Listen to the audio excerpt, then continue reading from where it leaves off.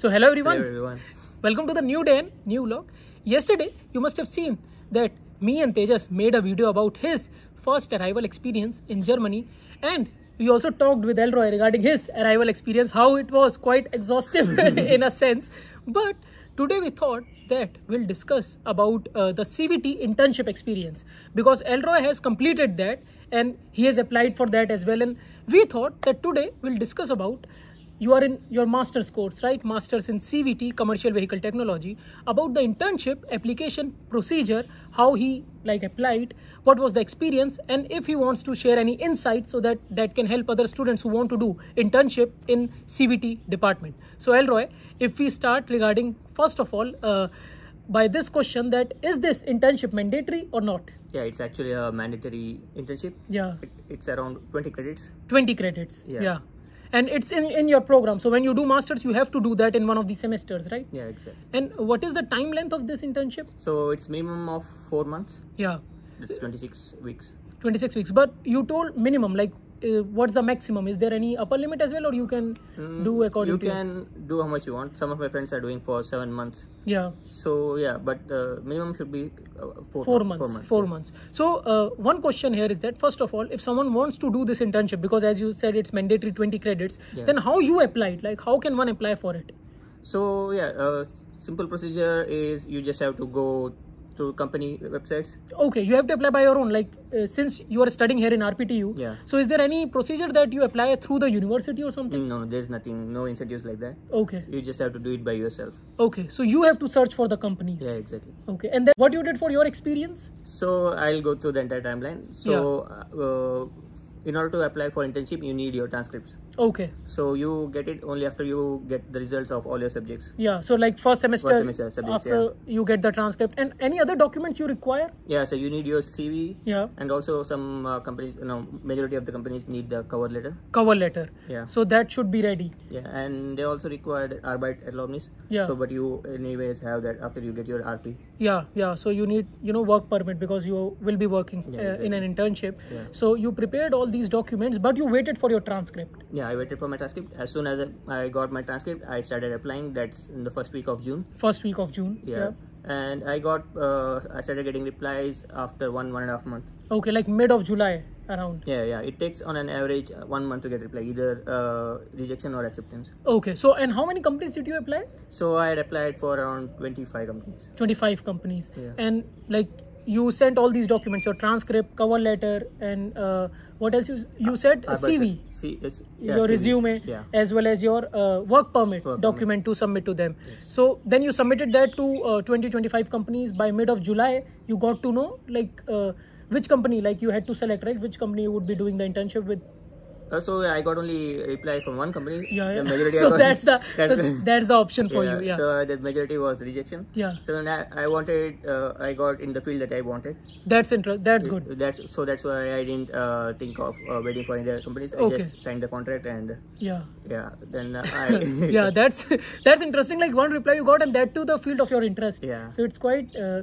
surprising and as soon as like you got the acceptance from the company what procedure one has to do like because you were searching by your own right Yeah. because as you said you have to search it you have to uh, apply through the documents then what they ask you like company like what's the next procedure So they send you the HR sends you a mail regarding all the necessary documents. You Correct. just have to send it back to them. They will send you a, a the contract. yeah contract So some companies they take one month. For me, my company sent it within ten days. okay So you just have to send it and send them yeah send them back.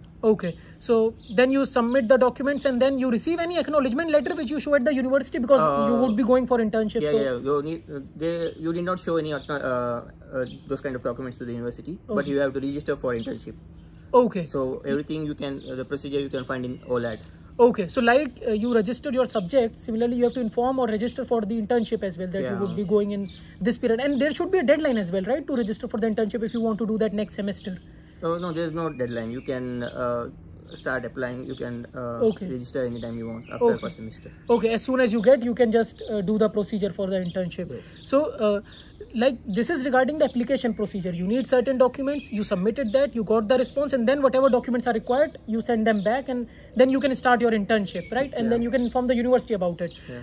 One more question I have at this point: like when you uh, have these 20 credits, is it only the credits that you get, or you get some marks as well? Because your exams are graded, right? Yeah, but uh, they don't uh, uh, give marks for this, for internship. Only Okay. you have it for master thesis. Okay, so you only get the credits for yeah, it. no marks. So right now you have applied for it. Yeah. Now if you talk about like you said you got the reply in mid of July, when you plan to go?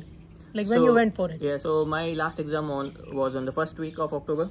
Okay. Yeah. So then I thought I needed some break to get off the, Yeah, some yeah. steam from exam. yeah, yeah. Then I, I requested for the date uh, from 1st of November.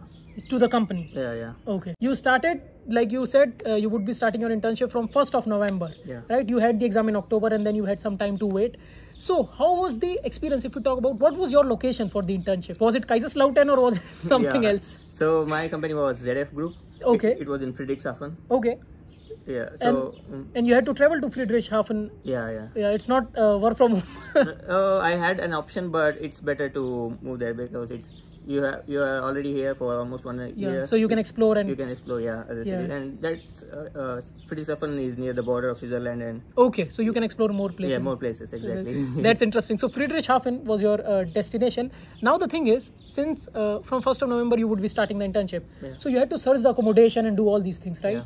So like you what you did for your current accommodation which was here uh, in kaiserslautern oh, I gave it as a sublet, official official sublet. official sublet so, So the university student dorms allow you to give it as official sublet for six months. yeah So that's one advantage for students who are going for internship. Okay, so this is a good uh, point that he men- also mentioned is that if you go for six months, you can six for six months you can officially sublet your student dorm. Yeah. So and how the student dorm looks like, I have made a video about that. I'll put that video link in the description. So continuing, Elroy, you gave it as a sublet, and how you found the uh, accommodation there? Like, so yeah, so there were two options. One was uh, you you the you could have mailed the company, so they will send you a list. oh, of- they can also suggest the options for Yeah, they can, That's yeah. interesting. Yeah. And other one is Gazoo. So you search by your own. yeah, yeah. So, Okay. but luckily I found through the company website that they are given. Okay, so the company means mentioned some of the contacts regarding the accommodation part, Yeah. and and how was your accommodation there? Was it comfortable or So it was uh, really amazing. It's Yeah. like a vacation house. yeah? Uh, It's secluded from the city, but uh, it during the winter it was just amazing. Yeah. yeah yeah it's it, it must be because you went in november and then six months Yeah, you have to spend there and how was your experience like because i think if someone uh, is starting the internship and you know he's going to a new place like you went to the friedrichshafen were you there before or not No, that was my first time. so so like first time you're doing an internship that too in a new place so how how was your experience at the starting because you get to know the company as well and what was it like So it's uh, really nice. It's the first time uh, entering a German company Yeah. and experience their work culture. Yeah. So that's the uh, nice thing. You can experience uh, an Yeah. amazing work culture. Yeah. yeah and what what thing that you noticed there like like during the working time what, what was your working time in internship or So was it flexible how was it flexibly, I was allowed to work from home twice, uh, twice a week. twice a week yeah Yeah, but uh, that that was just only on paper. I, they allowed me to work five days also. okay okay okay Yeah. that's good so you can just stay at your room and work Yeah, but uh, it's actually good to go to the office because Yeah. they they provide you two big monitors, so Okay. you can work easily. And also, yeah, but I had to go uh, to the office or to the yeah, to the office because yes, I had to do some testing and all. It- okay Yeah. okay so you might have to go to the office or you can uh, do work from home as well that's Depends on the yeah. depends on the company, Company, right if they allow you to do so exactly. and like what were the working times for this internship is it like a full-time job or like how many hours you have to work in It's a week same as a full time job. Yeah, you have to uh, from nine to five. from 9 to 5 Yeah. but did you really had, had to work for from 9 to 5 or how was it Yeah, I had to work from nine to five. Okay every day like 5 days a week Five uh, yeah, five days. a week. So, Elroy, you worked nine to five, five days a week for your internship, six months, like you said. Yeah. So, d- did you get paid as well for this internship? Yeah, they, they pay you here for for internship. Okay. As- They give you a stipend. Yeah. Okay, so like, was it manageable for your expenses there in Friedrichshafen? Yeah, it was manageable. Your monthly expenses. Yeah, yeah. And how was it compared to Kaiserslautern? Your expenses? So the rent was pretty high. Yeah. Like, can you give an estimate? Like, So my rent was around 410 euros. okay, 410 euros, Yeah. and maybe your miscellaneous expenses, other expenses as well, and Yeah, but And- with uh, with the stipend you can manage everything. okay. And approximately how much one gets paid uh, for this internship? It depends on the company. Some pay very high. Like very high means like as an estimate amount, around- not your exact amount, but yeah, around 2000 euros okay per month. per month. Yeah, Okay, and some very less, around 1000 euros. okay, okay. So it, it can vary on these range, but the working time is same, right? The working time will be. So same, time is same, but maybe on your task you get uh, more or less, like comparatively, like you said, two thousand or thousand euros per month uh, stipend. Yeah. But that is, I think, a good point. Like you get an experience of doing a job, right, in a company for that six months, exactly. Yeah. and and like you mentioned, every day, like some days you did uh, work from home, some days you had to go to the company. And now talking about how was your work? Like was it manageable, or you had to learn some new things for that internship? Initially, yeah, uh, it's uh, entirely new Yeah. from what we learn at the university. Yeah. You get uh, complete industry experience. Okay. Industry, yeah. So you get to learn, you get to learn a lot of things. Yes. Okay, and you had to prepare. But do you get time for that? Like, like if you say like you have to learn or upskill, you have to learn some new yeah, yeah. skills. The supervisor is very friendly. They will help you to understand Okay. if you need to know anything. Okay. They will give you a lot of time to. O- Okay, okay. So when you go there, you have a supervisor or a mentor type of Yeah, a yeah. person who helps you through that Exactly, internship, and yes. you can ask him. And sometimes maybe if you get suppose stuck at your work, or you know you are taking comparatively more time to do the work, then was it manageable or Yeah, yeah. They they are very friendly. They will help you with okay? if you're stuck in. yeah. Okay, okay. So I think that is also one of the uh, flexibility point I can say. Like while doing the internship, like you learn and you also get time and you know supervisions from uh, different people as well. Yeah. And uh, once your this six month internship was over, you had to return to Kaiserslautern. You you had official sublet here, but did you had to inform university that my internship is over? You get any type of certificate or something? Yeah, after your end of internship, you have to submit a report. You have to do a presentation. Okay, that's interesting. Yeah. Yeah, and you have to submit. You will get a internship uh, certificate. You have to send it to the university. Okay, then only they will give you the twenty credits. After one month, they will uh, assign you 20 credits. Okay, now one point I want to ask. Uh, since you are working in the company, you know the people there. Yeah. You had to uh, this make this report and give the presentation to any other person in the university, or to whom you have to give that? Course instructor. Who? Uh, we have to give a report to the to our CVT course instructor. Course instructor. So at the end, like you had to tell what was your topic in the internship. And, Yeah, yeah. But before going as well, do you had to ask him something, the course instructor, or No, we need, need not ask anything. We just have to submit in our job description and uh, uh, internship title so Yeah. that we can register for internship. okay, like you said, the procedure that one has to do. So you have to do with your course instructor. You tell him what is your job description, what is your topic, and then when you come back, you have to present. Yeah. And how was that experience? Like, was it manageable? It's uh, simple. Uh, it's uh, only it takes only two to three days of your time. Okay, like once you come back and then you prepare the report. But during the presentation, do they ask any like cross questions as well? No, like, is it Uh, no, they just give you a review how you did your uh, how you did your presentation. Yeah. They don't a- they won't ask you uh, technical questions. Okay. It's just a preparation for your master thesis. So even the report and presentation will Yeah. help you for your your thesis? prepare, prepare better for your master thesis. Yeah, I think that's also important because when we did our presentation and seminar, like I think it's a practice, you know, to give a, another presentation during the thesis. One more point, Elroy, this presentation was online or you had to come to the university and give it? Uh, you can give it from anywhere. It's online. Okay, so you can just uh, uh, make a PPT and talk to the instructor online. Yeah. And then you receive the certificate from the company as well, right? That you also have to submit to him Yeah, through mail. Yeah. through mail. Okay, so you submit these documents, you complete your internship, whatever work is assigned to you, you do that work for six months time period. Like you said, minimum four months it should be there, and one can do for seven months as well Yeah. if uh, if a person wants, and maybe talk about the accommodation regarding that as well uh, for sublet. But like you mentioned, it's for six months the official sublet uh, which you gave. Now, Elroy, talking about like we got some details about the timing, the timeline. You started in November for six months. Like, what's the pay scale? How much work you had to do? Like five times a week, nine to five job. But is are there any recommendations or insights that you want to share to the students, like who would be doing or who want to apply for this internship, or when uh, they get any job description, how they should search for it, or how means uh, what they can do about it? Like if they are not for the initial period, maybe uh, are trying to search for a particular uh, job. Yeah. So my suggestion is uh, improve your German. So Okay. A lot of the times, if you have a good German, it's easy to get uh, internship. Okay. And uh, prepare your CV in German Okay. and uh, change it according to the job description Yeah. while you apply. Yeah. And apply as soon as possible. Don't wait for uh, five days. Don't say like I'll be applying on weekend. Whenever the jobs are posted, apply it on the same day. Yeah. So even if you are late, uh, the chances are very less that you Yeah. will get the internship, that you get, that you'll get the reply. Okay, so uh, this important point, like when you applied, you had to prove, uh, submit any German document. Uh, no, you just that? have to. Uh, I just had uh, named it in my CV.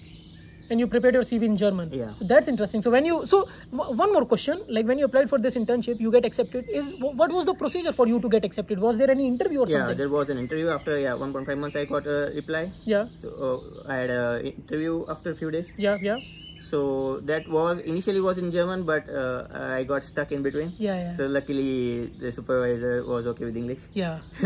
but that's good. You initiated. You tried in German and Yeah. continued.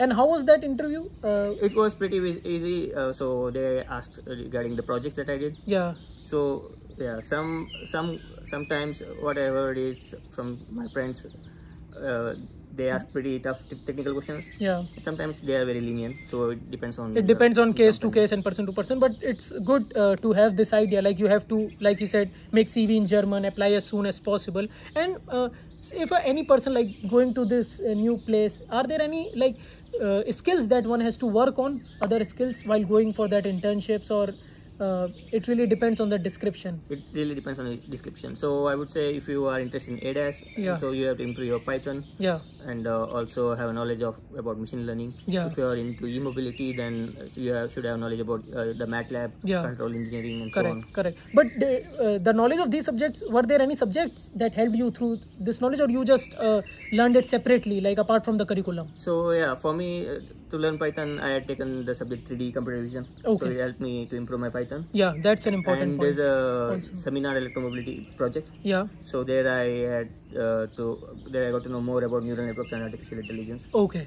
So that helped me a lot to get uh, my internship. And also work there as well. You might have used this knowledge as well in Yeah, that yeah, uh, I, I did. yeah. internship. And there as well, you have to do some kind of courses during your internship, like to upskill, or you just you know do it side by side if you are doing the job So my suggestion is, my suggestion is if you have time, uh, then you can go through different uh, lectures or different courses, Courses. To, to upskill. Yeah, it will help you further. for the internship time. And once you were back, how you felt about your overall uh, internship experience? So after my internship, I immediately went back to India. okay, okay, that's interesting. then uh, then after a month, I came back to Kaiserslautern.